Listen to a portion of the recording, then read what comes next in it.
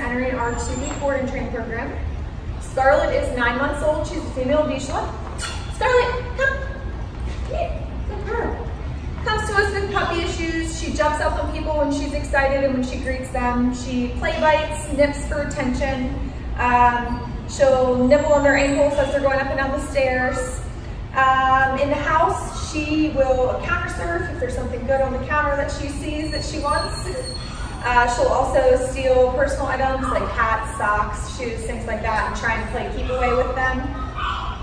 Outside, she is really distracted by pretty much everything, so her recall is pretty much on her terms, mostly non-existent uh, when there's any form of distraction. Inside, they said she's pretty good. They did do some puppy classes, but they really would like for her to have a nice, reliable recall even outside, so they can let her off the leash and enjoy her more.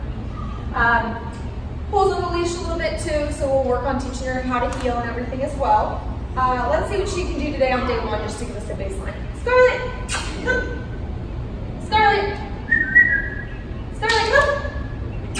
Scarlett. Scarlett, come. Come. Good. Sit. Scarlett. Scarlett. Sit.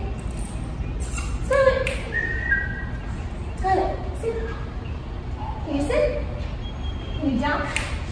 Scarlett, jump. So as you can see, she's really distracted to be here. So she's pretty much not gonna do anything for me right now. No big deal. We will show you her results in just two weeks. Be sure to check back.